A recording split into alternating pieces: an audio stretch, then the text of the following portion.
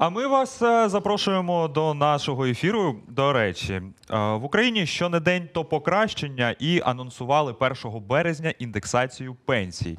Андрій Новак, економіст, аналітик, зараз нам трішки внесе ясності, чи буде ця індексація взагалі чи ні. Дивіться, тому що пропоную почати з цитати. Ми зараз думаємо над варіантами індексації, тому що, по-перше, ми ще не знаємо індексу, на який буде, е, буде відсоток підвищено, але ми точно почнемо її 1 березня, е, сказала Марина Лазебна, міністр соціальної політики. Так. Тобто, покращення нас все-таки чекають. Ну, справа в тому, що в бюджеті 2021 року передбачено підвищення пенсій, само собою. Якщо мова йде про якесь додаткове підвищення, якусь додаткову індексацію, тоді дійсно треба дочекатися, е, на який індекс вони будуть індексувати. Але в принципі це треба робити як мінімум на показник інфляції. За минулий рік у нас інфляція. Е, Ну, уточнені дані, я думаю, будуть пізніше, але зараз попередньо це 5%. Тобто індексацію робити менше, ніж на показник інфляції, взагалі немає сенсу. Ну, це просто соціально несправедливо буде. Але можна індексувати і на більший показник, ніж інфляція. Тому тут треба дочекатися, що саме має на увазі Кабінет міністрів. Так е, тоді в мене таке, можливо, логічне, а можливо, і не дуже питання: на що вони анонсують те підвищення пенсій, те і ту індексацію? Ну, ви знаєте, мені взагалі дивно, чому вони зараз роблять таку ініціативу, тому що, як правило, такі речі з'являються напередодні якихось виборів. А, за традицією так, У нас зараз виборів вже ну, в всякому разі найближчим часом не передбачається. Хіба якісь е, гіпотетичні дострокові парламентські вибори, про які багато говорять, але поки що ні е, правовий процес, ні соціальний процес він не йде до того, щоб зараз найближчим часом були якісь дострокові вибори. Ми пройшли е, кампанію місцевих виборів е, минулого року. Тобто, як правило, такі індексації, якісь соціальні платежі, якесь підвищення, як правило, це робиться перед виборами. Чому, Ну, чому зараз? Ну, дивно. Тим більше треба врахувати, що стан державного бюджету на сьогодні дуже важкий, так м'яко кажучи. Про До речі, так. у зв'язку з пандемією, так е, і зараз. Ну я думаю, що все ж таки покращення. Покращення, яке нам варто очікувати. Е, ну, Ми, ми завжди е, Ми завжди. Ну, кажемо ми- про новини України з, з позитивного А. погляду. Ну, якщо з позитивного, то будь-яка індексація навіть на невеличкий відсоток, це все-таки краще, е, Ніж- особливо, особливо для пенсіонерів, які мають настільки низький рівень пенсії, Тобто- що, що там мова йде тільки про виживання. От е, я якраз і хотів доповнити тим, що у багатьох пенсіонерів в Україні там е, після індексації додають до пенсії гривень там 30-40, в кращому випадку 100-200. Тобто Ну, та, так і це, це все одно краще, ніж 100% від нуля. Так, але, але при цьому е, треба ще рахувати, а наскільки зростають ціни. От, А напри- ціни зростають завжди. От, так. наприклад, з 1 січня уряд підняв ціни на газ і на електроенергію, причому не на 1, 2 і навіть не на 5%. Так, до речі, ось це цікаво. Так, е, індексація пенсії відбудеться там на декілька гривень, так, Так. але якщо порівняти з платіжками і з цінами на так. комірне. А платіжки зросли на десятки відсотків, так, а пенсію індексують, ну якщо на 5%, то це ще буде Це в добре. кращому випадку. І знову ж таки, якщо повернутися до стану державного бюджету, він е, дуже плачевний стан. І про це говорить те, що уряд, Мінфін з початку цього року практично щотижня виходить на борговий ринок і залучає нові борги. От за місяць е, останній 60 мільярдів гривень на сьогодні вже уряд залучив нових боргів. Це тільки за місяць. Це за місяць? Це тільки за місяць. З 5 е, січня вони перший раз Ага. вийшли е, на торги, і от зараз до початку лютого. 5, 5 виходів було кожного тижня, і от за цей час 60 мільярдів гривень нових боргів. Це говорить про що? Про те, що стан бюджету дуже поганий. Раз такими темпами з початку року нарощують борги. І тому звідки будуть зараз робити цю індексацію, мені самому буде дуже цікаво. Тільки не дай Бог, щоб це не було з е, запуску друкарського станка. Тому що якщо на це розраховує уряд, що він зараз запустить друк гривні, ну ми розуміємо, що тоді інфляція буде далеко не 5%. Ну і здалася нам тоді та індексація пенсій. Ну так, ми е, тут Тоді одразу зростуть ціни на продукти, і на усе. Ну вони Я вже вони вже ростуть, тому Ще що більше. Та, тому що зросли ціни на енергоресурси. А так як енергоресурси це обов'язковий елемент собівартості будь-яких товарів, Так. Так, нічого неможливо виробити і доставити, привезти без енергоресурсів. Якщо зростають ціні енергоресурси, причому знову ж таки не на пару відсотків, а там на 15, 20, 25, це автоматично тягне за собою ланцюгову реакцію підвищення цін на все. Тому що ні виробник, ні торговець не може працювати собі в мінус. І коли в нього зросла собівартість, він змушений піднімати ціну на, на свою Тут продукцію. бачите, як цікаво виходить. Ми говоримо, е, начебто, так про індексацію, начебто це плюс позитив, але з іншого боку випливають фактори в мінус. Так, Так. ми розуміємо, що якщо десь додається, звідкись Ну, е, бачите, віднімається. Так, в економіці не можна е, нічого не можна аналізувати лінійно Мгм. за одним показником. Номінально ми можемо на руках мати більше гривень, але справа не в номіналі, а в купівельній спроможності. Що ви можете за ці гривні купити? Так. Ви пам'ятаєте, в нас е, в першій половині 90-х ми вже всі були мільйонери в тих карбованцях. Так. Так. Тільки Ну, купити так. за ті мільйони ми могли все менше і менше товарів.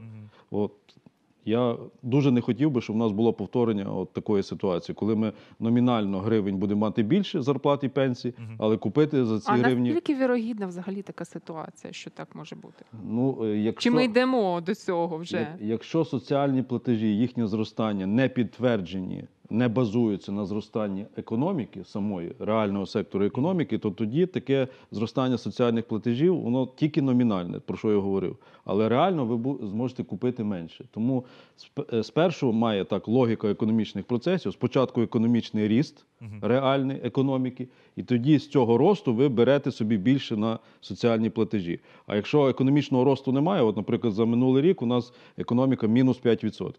Клас. Якщо ви в цей, в цей момент піднімаєте соціальні платежі, то ви за рахунок чого можете робити? Тільки за рахунок боргів або друку станка. Та тому що резервних якихось коштів немає в державі. Ну, у нас, на жаль, е, до резервів дуже далеко. Наприклад, як в тій же Росії, там у них було два е, е, фонди такі: один резервний, один фонд, так би мовити, розвитку. Один з них вже спустошився через е, санкції міжнародні, але Росія мала два фонди резервні, так і- для розвитку. Україна не може собі цього дозволити. У нас немає такого фонду, щоб ми, оце наша фінансова подушка. Якщо якісь проблеми, ми з цього фонду перекриваємо. У нас такої можливості, можливості на сьогодні немає. Хоча можна було б вже давно запровадити певний механізм, певний відсоток від бюджету відкладати постійно на цей Я, фонд. знаєте що, є такий фонд. Чого ви кажете, що нема? Він у кишенях наших можновладців. Кожного ну, разу, хіба кожного так. місяця певний відсоток від бюджету йде до наших можновладців, а ну, ми хотілося а ми платимо було ще борги. у кишенях е, громадян українців. Так, Так, я які от хотів податки. запитати. Дивіться, у нас завжди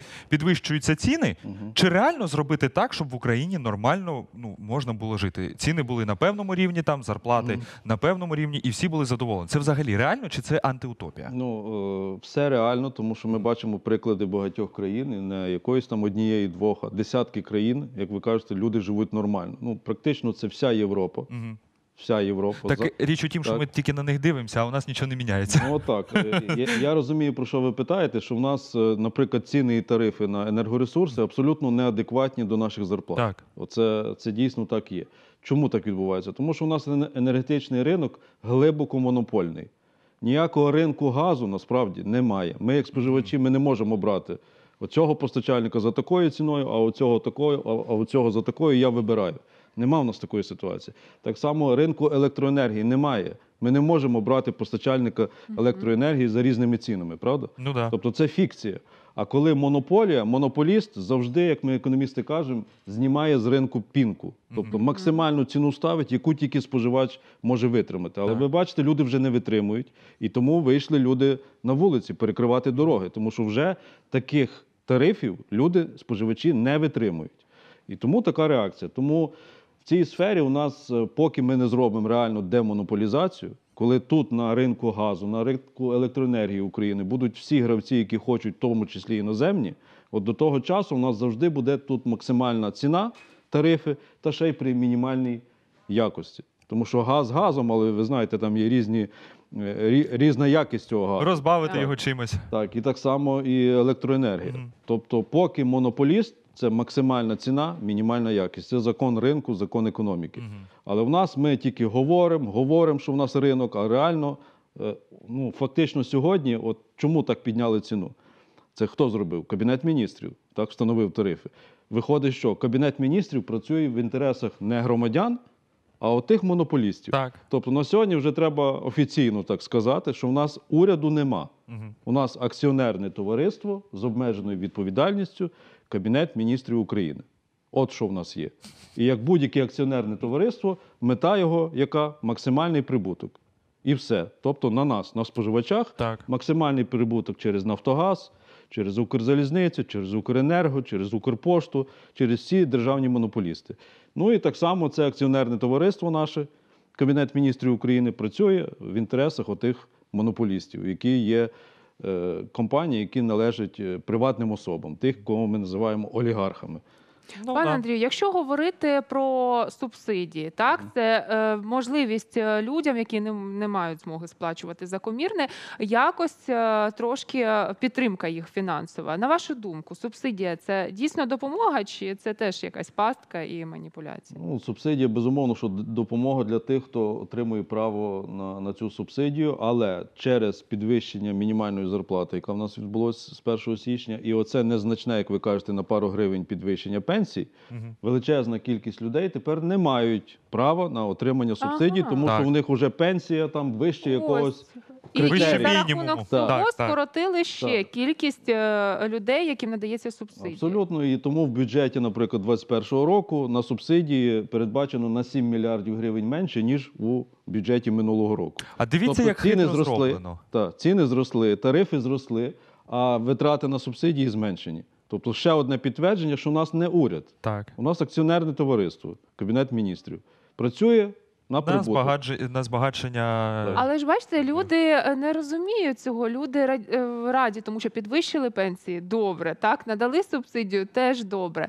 Ну якби як людям розуміти, що відбувається, ну, тому що ніхто ж цього не роз'яснює. Ну, зрозуміло, що людина, коли отримає навіть на пару гривень більшу пенсію, вона ну, нібито радіє. Але, але потім, Ну, коли... фіктивне щастя. Так, а потім, коли вона цю на пару гривень пенсію потратить на оплату квитанції, так, житлово-комунальні послуги чи за енергоресурси, якщо це приватний будинок, потім потратить на продукти харчування, а пенсіонери це, як правило, люди, які ще й потребують ліків і лікування.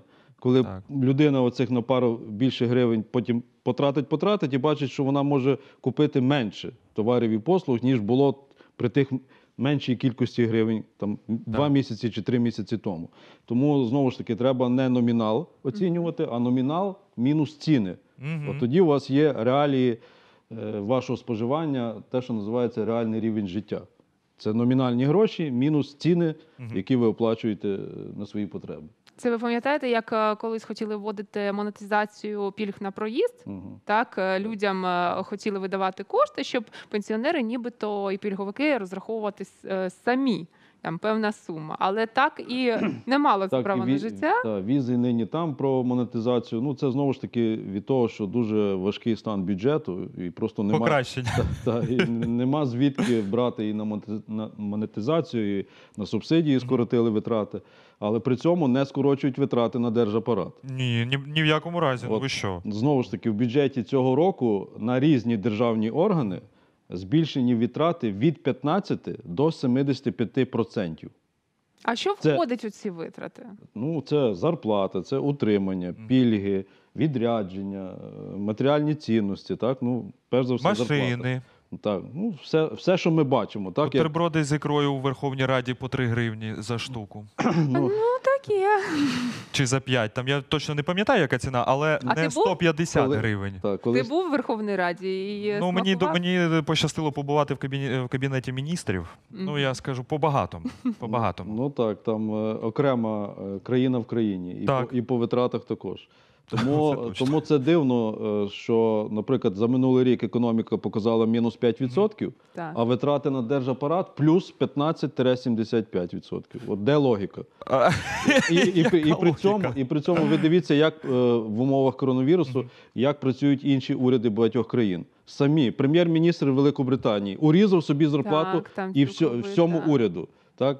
Е, прем'єр і президент Франції так само зменшили витрати, всі країни практично зменшили витрати на держапарат в умовах То, так вони реально ж працюють, вони ж Так. е, піклуються про своїх жителів. Так, а в нас навпаки. А в нас тільки стараються. Економіка в мінус, а на держапарат ми додаємо. Пане Андрію, Так. а якщо е, відбудеться скорочення депутатів, так це якось допоможе скоротити витрати на Ну, з, держапарат? з одного боку, так, але я би сказав, що це більше така популістична тема е, скоротити з 450 до 300, тому що ми знову номінально їх можемо скоротити, але витрати на цих 300 можуть збільшитись у два рази, наприклад, ніж було витрат І на таке може 450. За класикою жанру. та, тому я впевнений, що так і буде. Ну, я так для про держапарат можу навести таку цифру, яка нам дасть розуміння. В УРСР така була Республіка Радянська. В усій УРСР було 50 тисяч чиновників. УРСР. Зараз у нас при меншому населенні, не 52 мільйони, зараз у нас 500 тисяч чиновників. Клас. В 10 разів більше, ніж було тоді. Хоча держапарат, Мгм. я не думаю, що зараз український держапарат працює ефективніше, ніж той е, держапарат УРСР. Та я думаю, При- що далеко не ефективніше, а ще й І знову ж таки, при набагато меншому населенні. так. фактичному, яке в нас зараз є. От вам приклад того, на що йдуть наші гроші, е, гроші з бюджету, тому що бюджет формуємо тільки ми, платники податків. Немає іншого джерела. Навіть коли держава бере в борг, то Так. потім на в наступні роки вона ж його повертає. Звідки? З бюджету. Знову ж таки, з наших грошей платників податків. Ми ж завжди платимо. До речі, я знаєте, що хотів запитати? Дивіться, є в Європі певна схема. От е, якщо до них приходить якийсь транш, чиновники, наприклад, від цього траншу беруть 10%, все інше в державу. Якщо таке правило ввести в нас, жити стане краще?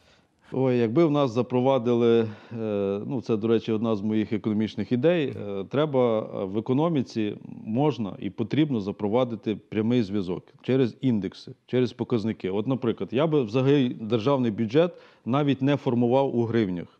Ну, орі- орієнтир там, наприклад, ми зберемо трильйон. еквівалент, так? Так, має а, а я би витратну частину бюджету формував як відсотки. От скільки б не прийшло в бюджет, от прийшов трильйон гривень. Так. Наприклад, 5% на оборону, Угу. наприклад, 7% на освіту, там 6% на медицину.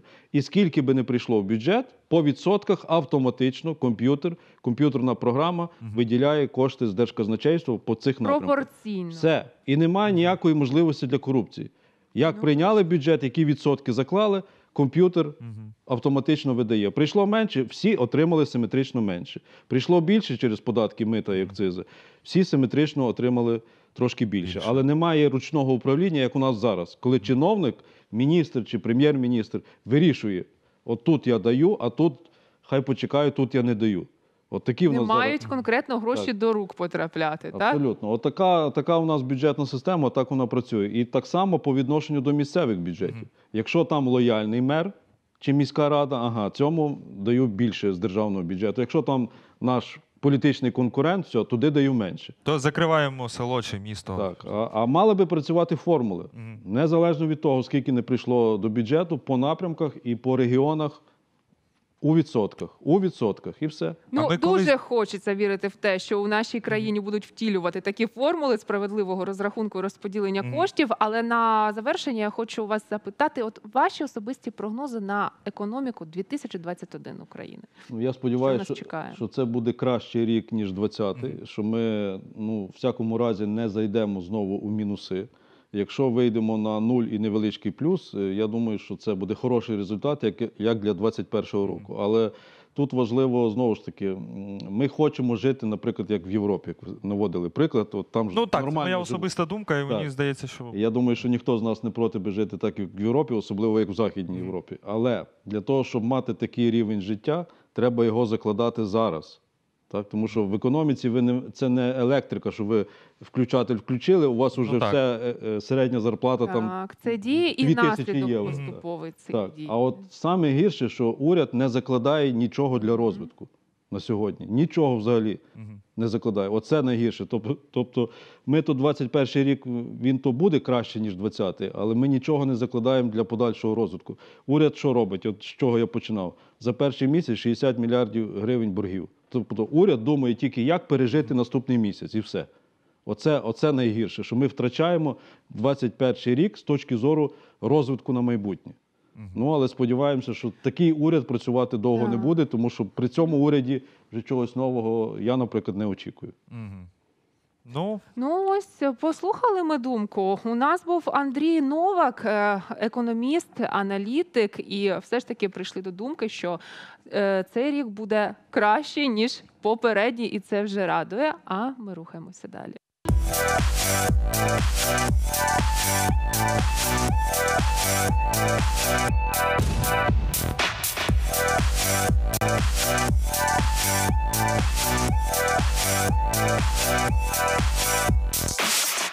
Упевнена, що вам сподобалось у нашій компанії, але хочете більше, тож підписуйтесь на наш YouTube канал. більше нашої компанії, та найголовніше, не забудьте поставити дзвіночок. We'll be right